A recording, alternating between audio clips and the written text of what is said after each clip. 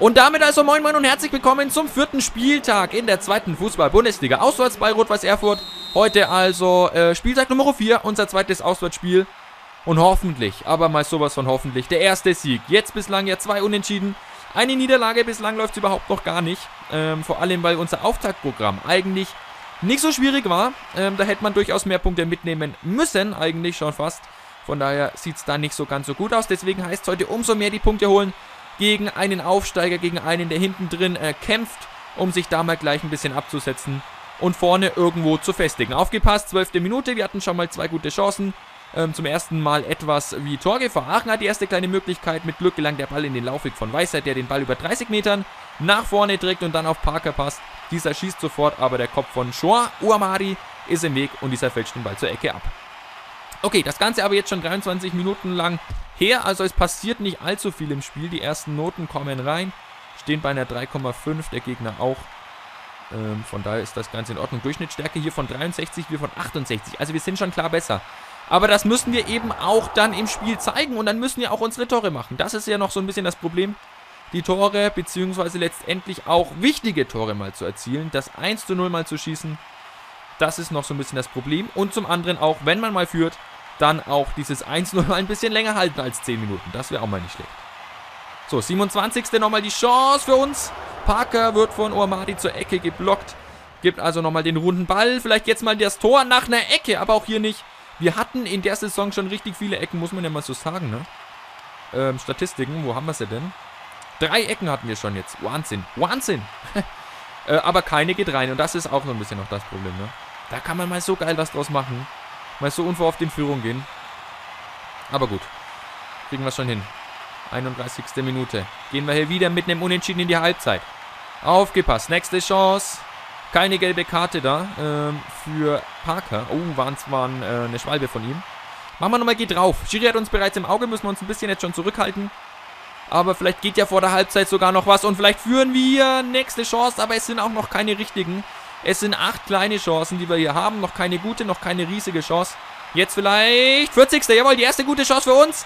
Und der ist auch nicht drin. Wieder eine Ecke. Wieder eine Ecke und wieder ist Umara, Umari da, der Mann vom Gegner der hier irgendwie ein Topspiel macht. Absolut genial, aber das hilft uns nichts. Wir wollen hier gewinnen. Franz bekommt Gelb nach einer Diskussion mit dem Schiri. Äh, diskutiert da sehr eindringlich. Gelb ist die Folge. Die zweite jetzt schon für uns in dem äh, Spiel. Aber das ist alles egal. Wir brauchen das Tor. Jetzt vielleicht. 44. Der Lucky Punch vor der Halbzeit. Wieder nicht. Wieder bleibt es beim 0 zu 0. Zehn Chancen. Zehn Chancen in einer Halbzeit und wieder geht nichts rein. Also wir brennen in jedem Spiel ein absolutes Offensivspektakel ab. Aber wir schaffen es nicht, dann die Tore zu machen. Das ist das Problem. Zwei Minuten Nachspielzeit. Da fragt man sich, wofür. Steht hier geschrieben. Und dann geht es erstmal rein in die Pause. Erstmal ein bisschen durchatmen. Okay. Wer ist nicht so drauf? Parker, nur eine 4, aber würde ich ganz gerne innen lassen. Der hat zuletzt ein Tor gemacht. Den motivieren wir nochmal. Ich kann es besser, das weiß ich, das wissen wir auch. So, hier überall mal motivieren. Und einen ähm, Neumann loben wir mal. Danke, ich hänge mich weiter rein. Wunderbar. Massagen kann ich gar nicht verteilen, oder wie? Drei Massagen übrig? Irgendwie nicht. Irgendwas stimmt hier nicht. Hier steht drei Massagen. Naja, egal. Ähm, Halbzeitansprache, wir gewinnen, das haben wir mitgegeben. Äh, jetzt schlägt unsere große Stunde. Ich probiere es ein weiteres Mal. Ich gehe ein weiteres Mal offensiv ran an die ganze Geschichte. Denn das ist absolut nötig. Wir brauchen hier die drei Punkte. Wenn nicht jetzt, wann dann? So, alle mal warm laufen lassen und dann gucken wir rein. Und hoffen, dass wir uns wieder ein paar Chancen erspielen. 52. Wieder nicht rein. Unglaublich. Mann, Mann, Mann, Mann, Mann. Es ist Chance Nummer 11. Für alle, die mitzählen wollen.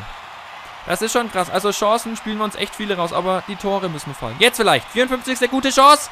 Wieder nicht drin. Es war eine Ecke. Es war die gefühlt 100. Ecke in dem Spiel. Nee, die fünfte erst.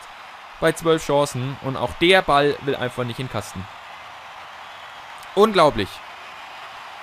Eieieiei. Was willst du da ändern? Ne, wir spielen ja gut, aber die Tore wollen nicht rein. Wir wechseln nochmal. Wir lassen jetzt mal, wir nehmen Parker raus, spielen mit Leipertz Thiele. Die sind vielleicht noch ein bisschen mehr eingespielt. Weißer. Ähm, wer ist denn schlecht? Knoll spielt nicht so toll. Oh, das reimt sich. Ähm, dann wechseln wir hier mal. Und spielen so mit, wobei das bringt nichts. Ne, machen wir nicht. Machen wir nicht. Ähm, Schwenke lassen wir drin. Oh, wie wollen wir großartig wechseln? Das ist auch die Frage, ne? Das ist auch die Frage. Ich glaube, wir lassen es trotzdem erstmal so. Wir wechseln erstmal einmal. Und schauen, wie es weitergeht. Weil viel großartig was ändern jetzt halt mit einem ähm, Chefcheck reinbringen und einen Schwenke vorschieben. Schwenke ist ja doch eher defensiv orientiert. Das wollen wir ja nicht. Jetzt aufgepasst. Gefährliche Freistoßchance in Erfurt. Oh, Thiele wird mit einem Foul äh, gestoppt. Es gibt einen Freistoß aus 17 Metern. Das ist eine Position für Hakan Shalanoglu. Unsere Leihgabe. Langer Anlauf. Wird von der Mauer zur Ecke abgefälscht. Und dass aus einer Ecke nichts wird, das kennen wir. Mal gucken. Vielleicht doch. Vielleicht gibt es jetzt mal die Chance. Vielleicht können wir jetzt mal das Tor schießen. Nee, die Ecke ist erst gar nicht gefährlich. Wird das gar nicht angezeigt. Dafür gibt es Gelb für Smile Morabit. Hier nach 61 Minuten. Meine Güte. Gibt es doch nicht. Geht nochmal drauf, Jungs. Gibt nochmal alles. 63. Minute. Wieder nichts. Vermeintliche Abseitsstellung von Thiele wird zurückgepfiffen, aber es war wohl gleiche Höhe. Also da werden wir dann auch noch unglücklich benachteiligt. Nochmal der Wechsel. Bei den Erfurtern. Ich bin am überlegen, ob ich Franz rausnehmen soll. Ich traue dem Braten nicht. Ich glaube, der kriegt noch rot. So, Leipertz bekommt einen Ball bei einem Fre äh, Befreiungsschlag voll ins Gesicht. Er ist leicht genommen. Kann aber weitermachen. Und dann würde ich sagen, wechseln wir jetzt auch mal und bringen einen Bülow für Franz. Weiß nicht, ich glaube, Franz ist da ein bisschen zu hitzig. Wollen wir mal nichts riskieren. Ähm, dafür bringen wir jetzt halt mal Schwertfeger. Kann der auch links ran? Nein, natürlich nicht. Kann Weißer links. Ja. So, und rechts Weber. Denn Schwertfeger ist schnell. Das können wir durchaus mal probieren. Taktik. 46 Prozent. Beziehungsweise das lassen wir mal auf 40. Aber gehen wir vom Pressing her hoch. Ähm, das lassen wir. Thiele machen wir mal hier. Okay. Und das passt ja soweit auch noch. Was ist los? Woran liegt's? Habt ihr eine Erklärung? Dann schreibt's doch in die Kommentare. Aber ich weiß es ganz ehrlich nicht. Ich weiß nicht, wo hier was äh, nicht schwimmen kann. Wir spielen ja einen guten Fußball. Es ist überhaupt kein Thema. Es ist gar keine Frage. Das sieht richtig stark aus. Wir haben 13 Chancen unser Spiel. Haben auswärts 61% Ballbesitz. Aber es steht 0 zu 0. Und das ist das Problem. Und mit ein bisschen Glück und ein bisschen äh, Zufall macht hier auch noch Erfurt das 1-0. Und dann ist aber mal die Hölle los. So, gibt nochmal Applaus, die Fans klatschen. Und jetzt gibt es die zweite Chance für Erfurt. Ja, und genau sowas meine ich. Wenn es dann klappert, ne, dann ist echt, dann ist echt was los. So, Viertelstunde noch. Voller Angriff. Gib Gas, da ist was drin, da muss was drin sein. Aber die Jungs, es geht nicht mehr. Es geht nichts. Es kann nicht sein. 81. Minute, nochmal der Wechsel. Boah, ey, es ist zum Verzweifeln, oder? Woran liegt's? Wo ist der Fehler. Nochmal der Wechsel. Gabriel rein, Mio Tunjic raus. Acht Minütchen noch, plus Nachspielzeit. Haben sich beide Mannschaften schon mit dem 0-0 angefreundet. Also ich auf jeden Fall nicht. Geht drauf, Jungs. 89. Die Chance. Glanzparade. Von Frederik Löhe. Gibt's doch nicht. Gibt sie das dritte Unentschieden im vierten Spiel. Es sieht fast danach aus. Mann, Mann, Mann, Mann, Mann. Gibt es vielleicht nochmal, ja, eine Minute Nachspielzeit. Dann dürfte das auch hier schon wieder gewesen sein. Gucken wir mal rein, aber ja, Schluss, aus, vorbei. Es ist der Wahnsinn. Es ist absolut der Wahnsinn. Wir schaffen es nicht, irgendwie aus unseren zehntausenden Chancen Kapital zu schlagen. Es ist der Wahnsinn. Das vierte Spiel in Folge, das wir nicht gewinnen können. Und damit ist der Saisonstart endgültig vermasselt, muss man so sagen. Drei Punkte aus vier Spielen. Wahnsinn. Wahnsinn. Wir schaffen es nicht. Es ist unglaublich. Ich finde, ich weiß nicht warum. Ich weiß nicht, woran es liegt. Aber wir kommen hier nicht irgendwie raus. Unglaublich. Drei Unentschieden, eine Niederlage. Mann, Mann, Mann. Und das bei eigentlich einem so leichten Auftaktprogramm hier. Was die Gegner angeht. Karlsruhe haben wir hier. Gut, Paderborn jetzt weit oben. Ähm, Union Berlin. Und dann eben Erfurt. Und wir haben nur drei Punkte. Drei magere Pünktchen. Mann, Mann, Mann. Hier haben wir es auch. Chancenauswertung. Beziehungsweise Verwertung geht auch weiter runter. Jetzt nur noch auf Rang 11. Das muss besser werden. Da müssen wir irgendwie gucken, dass wir da irgendwie was machen. Vielleicht probieren wir auch nochmal die ein oder andere Teambuilding-Maßnahme, sprich ähm, Essen gehen, Vergnügungspark oder sonstiges, damit das Team vielleicht auch nochmal ein bisschen besser zusammenrückt.